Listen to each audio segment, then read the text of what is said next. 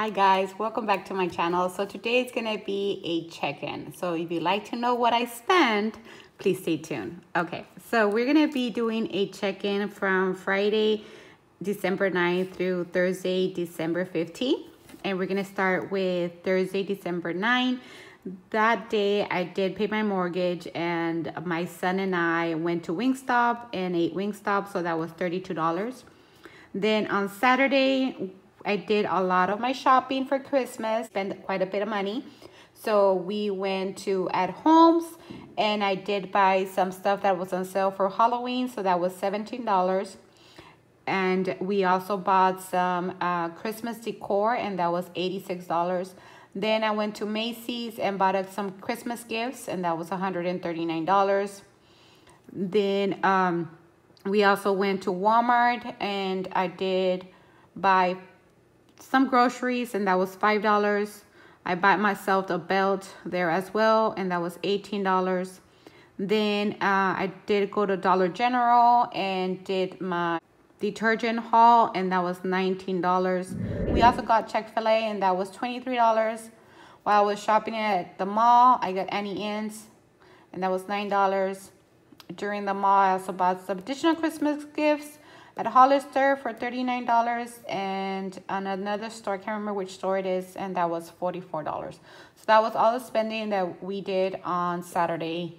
Then on Sunday, I did have a JCPenney's purchase, also Christmas related, and that was $19.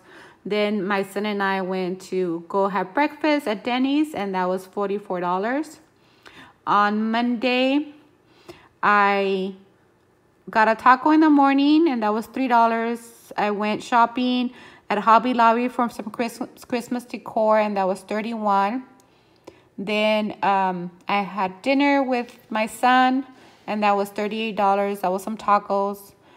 I also went to Burlington. Uh, I needed to buy a chair. That was $48. At Ulta, I stopped by and got some beauty items, and that was $32. I also paid my Spectrum and my light bill on Monday. On Tuesday, I got breakfast, and that was $3. I filled up the tank, and that was $40. Um, I did have a Christmas event with my coworkers, and that was at Longhorn, so that was $34 for that. Then uh, I told my son to buy me some food at night. Uh, so he stopped by at Whataburger and that was $9. I contributed $20 for my boss's Christmas gift on Wednesday. Then on Thursday, my son and I got cons and that was $42 as well. So that's the detail of my check-in. And now I'm gonna move you over to the computers. Okay guys, so this is my spreadsheet that I'm going to be using going forward. I just think that my penmanship is horrible and you guys probably don't even understand my chicken scratch. So I decided to do it this way, see how you guys like it. Let me know if this is easier, I think it's better.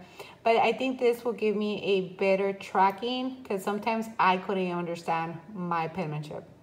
So I know I write horrible.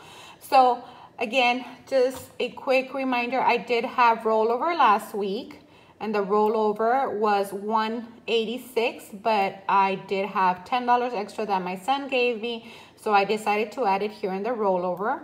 And then for the week I had 285 budgeted. So a total of 41 once you combine both items okay? So we had a combined total of 45 um, in eating out and actually for eating out, we spent $40.